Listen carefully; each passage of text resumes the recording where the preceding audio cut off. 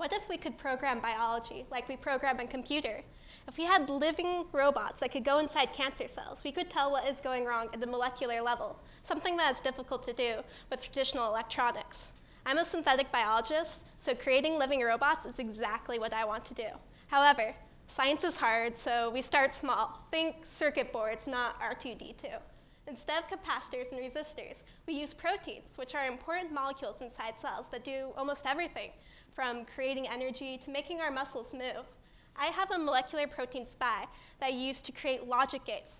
Logic gates are the fundamental building block of digital circuits and allow us to compute different inputs. For example, I can split my protein spy into two pieces and use special molecular Velcro to pull those pieces together to create an AND logic gate, since I need both my first piece and my second piece in order for my protein to work.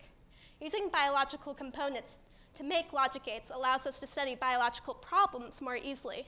My protein spy can tell me what other proteins are being made inside a cell based on the logic gates I design. In this way, we can specifically study cell types of interest, like cancer cells. So I haven't made a living robot quite yet, but even with my rudimentary circuit board of a protein spy, we can study biology in ways we never have before.